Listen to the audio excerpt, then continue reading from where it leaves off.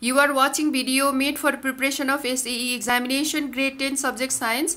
Important question answers of physics chapter 4 have been discussed in this video. These questions are asked in previous board exams and included in selected question portion in the question set book. We are going to start with this question now. Write any two differences between free fall and weightlessness. Free fall and weightlessness free fall it occurs when acceleration of falling body is equal to g.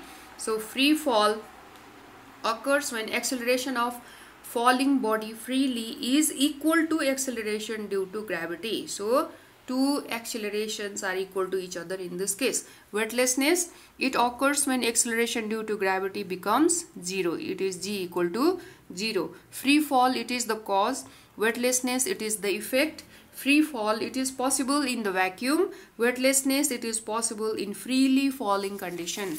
So these are the differences between free fall and weightlessness. You can write any these any two points among these three. Now the next question is a large stone of 20 kg and a small stone of 5 kg are dropped simultaneously from certain height.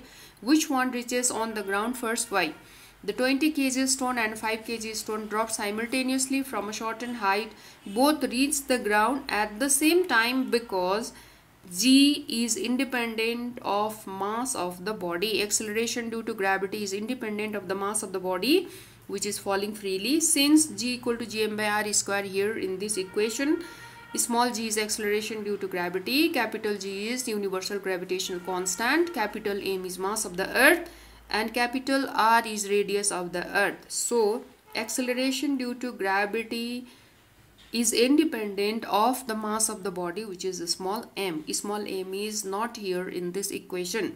The value of g is same for all freely falling bodies irrespective of their masses. So value of acceleration due to gravity will be same for all the bodies which are falling freely irrespective of their masses whether they are big or small uh, they have big or small masses it is same for all now question number three is write the reason atmosphere does not escape away from the earth the atmosphere is made up of air molecules of gases and dust particles. The gravity of the earth pulls these air molecules and dust particles towards the earth's surface. Due to this reason, the atmosphere does not escape away from the earth. So the gravity of the earth pulls air molecules and the dust particles towards the surface of it. That is why atmosphere remains uh, stuck with the surface of the earth. Atmosphere does not escape away from the surface of the earth. Now, write two differences between gravity and acceleration due to gravity. Gravity is the force of attraction between earth and an object on its surface or lying close to its surface.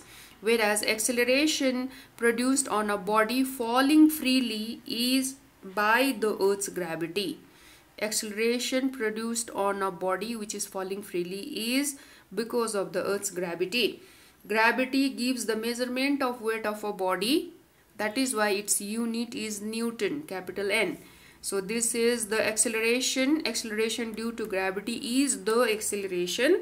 That is why its unit is meter per second square. So these are the differences between gravity and acceleration due to gravity. Now the next question is when a feather and a coin are dropped towards the surface of the earth, do they reach the ground together? If this experiment is done in the moon, what difference can be occurred? Write with reason. When a feather and a coin are dropped on the earth's surface, they do not reach the ground together because greater air resistance acts on the larger surface of the feather than on the smaller surface of the coin. Smaller surface of the coin. The coin has a smaller surface so the uh, upthrust or the air resistance acting on the surface of the coin is the uh, least very small negligible okay compared to the upward force or the upthrust acting on the feather. If this experiment is done on the moon the feather and the coin reach the ground at the same time because of absence of air resistance. There is no atmosphere in the moon so the both objects will fall at the same time so both the objects fall equal to the rate of acceleration due to gravity or small g. So both the objects will have equal acceleration due to gravity. Equal acceleration which is equal to the acceleration due to gravity. Both objects will fall with the same acceleration. Now the next question is why do all planets and satellites revolve around the sun all planets and satellites revolve around the sun due to two forces acting on them the pulling force of the sun is centripetal force and uh, the force which keeps planets and satellites in their orbits. Centripetal force keeps planets and satellites in their orbits which is the pulling force of the sun. The other force is centrifugal force which takes planets and satellites away from the sun. Centrifugal force which is uh, trying to take planets and satellites away from the sun. The balance between these two forces keep the planets and satellites revolving around the sun. So balance between centripetal force and centrifugal force acting on planets and the satellite keep these heavenly bodies revolving around the sun. So this is the answer. Now the next question is we do not get hurt when we jump with parachute. Why? We do not get hurt when we jump with parachute because upthrust of air acting on the last surface of parachute decreases the velocity of falling body. Okay decreases the velocity of falling body. The velocity is maintained in uniform. So acceleration is not produced because velocity is not increasing. It is kept uniform. Thus landing with uniform velocity is safe and slow so when the person falls down with uniform velocity then it is safe and slow landing on the surface of the earth. Because acceleration is not taking place in this case okay uh, question number 8 why is the weight of a body is greater in the pole of the earth than in the equator? The weight of a body is greater in the pole than in the equator because value of g is more at the pole 9.83 meter per second square than on the equator. The value of g at the equator is 9.78 meter per second square. You can see the difference uh, between the value okay in two places pole and the equator. Because of this the weight changes okay weight varies at the pole and at the equator. Since w equal to mg this is the formula to calculate weight of a body. W equal to mass into acceleration. Uh, mass remaining constant small m remains constant in all the conditions and only the value of g changes okay. So if value is value of g is more weight is more. If value of g is less weight is less so value of g is more at the pole weight is more value of g is less at the equator weight is less. So this is the reason. Now we are going to see next question that is uh, what changes occur in gravitational force when you double the masses of two bodies and distances kept constant let F1 be the gravitational force when masses of two bodies are not changed, keeping distance constant. So in the first case, masses of the two bodies and distance, all three are not changed. Mass and the distance not changed. These are kept constant. So in this case, F1 equal to GM, Gm1 m2 divided by d square. Okay, so this is the formula of gravitational force. Now again in the next case let F2 be the gravitational force in the next case uh, F2 be the gravitational force when masses of two bodies are doubled keeping the distance constant. So in this case masses of two bodies are made double whereas distance is not changed. Distance is kept constant. So what happens in this case is F2 equal to G, G2 M1 into 2 M2 because the masses of both the bodies are doubled made double okay? So that is why 2 2 multiply by 2 multiply by 2 divided by d square. So further solving of this will give you f2 equal to 2 2 multiply by 2 4 g m1 m2 divided by d square f2 equal to 4 into f1 because f1 equal to g m1 m2 divided by d square. In place of this uh, expression you can write f1 because f1 equal to this one. F1 is equal to g m1 m2 divided by d square according to this equation number 1 okay from equation number 1 you can write here from equation number 1 also. F2 equal to 4 f1 that is why new force is increased by 4 times.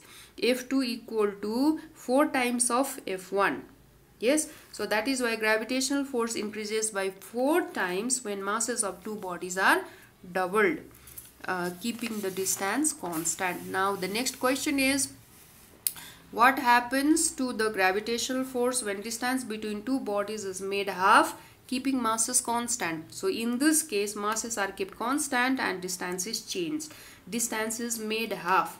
Let F1 be the gravitational force when masses of the two bodies and distance between their centers are kept constant or unchanged. So in this case F1 equal to gm1 m2 divided by d square equation number 1 because nothing is changed so equation remains as it is. Now in the next case next time again let F2 be the gravitational force uh, when masses are kept constant but distance between their centers is made half. Masses are not changed but distance is made half of the previous one. So in this case f2 now the new force will be produced. F2 equal to g m1 m2 divided by half d whole square because it is made square according to formula. F2 equal to uh, g m1 m2 divided by 1 by 4 d square further solving because 2 2 are 4 there is a square okay f2 equal to g m1 m2 divided by d square into 4 divided by 1 because you have made it upside down because uh, uh, you have changed division into multiplication. This divided by is changed into multiplication. So it becomes uh, upside down 4 divided by 1 so f2 equal to 4 into g m1 m2 divided by d square. Okay this is this 4 is uh, arranged over here in the front place so here F2 equal to 4 F2 equal to 4 F1 4 F1 so new force is equal to 4 times of the previous previous force F1 4 F1 here you can write F2 equal to 4 F1 because F1 equal to G M1 M2 divided by D square according to equation number 1 on top. Okay? So F1 equal to G M1 m2 divided by d square according to equation number 1 on top in the previous case. Okay so your answer statement is therefore gravitational force increases by 4 times when distance is reduced to half. When distance is made half uh, gravitational force increases by 4 times. Because closer the body is more powerful is the gravitational force. Stronger is the gravitational force so this is the answer. Now we are going to see the next question that is uh, what happens what change occurs in the gravitational force between two bodies when mass of each body is made double and distance between their centers is halved?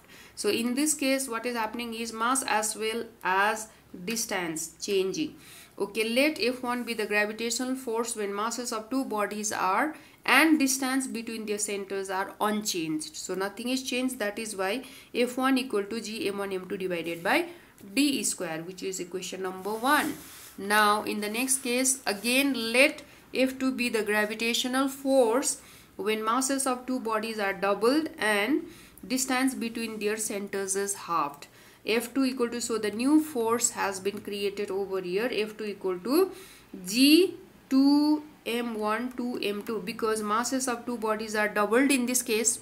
Okay this is the new force after making masses doubled and after making distance half no? So f2 equal to g 2m1 into 2m2 divided by half d square. Okay because according to formula it is squared there should be square. So f2 equal to further solving f2 equal to 2 multiplied by 2 equal to 4 gm1 m2 divided by this is multiplied two times 1 divided by 2 uh, 1 square and 2 square. So 1 divided by 2 square means 4 d square. Further arranging or f2 equal to 2 4 into 4 means this 1 by 4 is made upside down because in place of division you have made it multiplication. So 4 into 4 g m1 m2 divided by d square and F2 equal to 4 multiplied by 4 equal to 16 in place of uh, g m1 m2 divided by d square. You can write f1 because here f1 equal to g m1 m2 divided by d square according to the previous condition according to the first case no? So here f2 equal to 16 f1 new force is the is equal to 16 times of f1 previous force so gravitational force increases by 16 times when masses are doubled and distance between their centers is made half. So this is your final answer. Now we are going to see last question that is what change occurs in the gravitational force when the distance between two bodies is increased by two times, twice, keeping the masses constant. So in this case masses are kept constant and distance is made double. Objects, two objects are made farther from each other. They are far away more far away from each other. Let f1 be the gravitational force when masses of two bodies and distance are kept constant. F1 equal to g m1 m m1 m2 divided by d square. This is the first case equation number one. Again let f2 be the gravitational force when distance is doubled keeping masses constant. So there are no changes in the masses but distance is made double.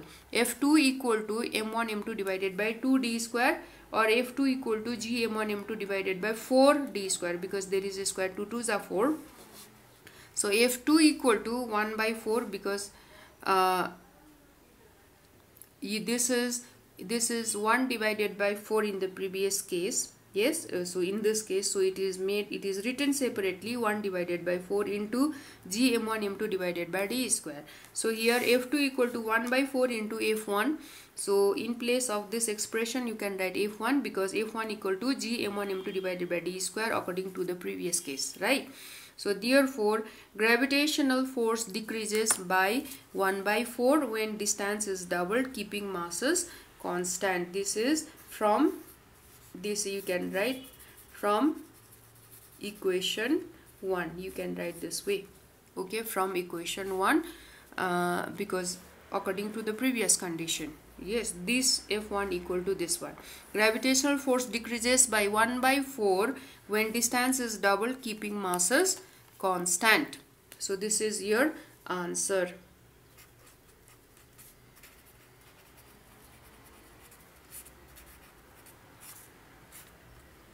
okay so this is going to be your final answer. With this we complete discussion of these questions. We are going to do more important questions in the next video